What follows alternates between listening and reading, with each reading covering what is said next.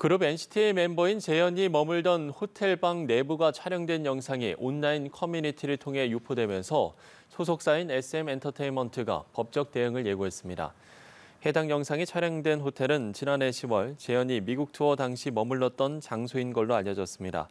SM 엔터테인먼트는 이와 관련해 아티스트의 사생활을 심각하게 침해한 불법 행위라면서 관련 자료를 수집해 수사를 의뢰할 방침이라고 밝혔습니다.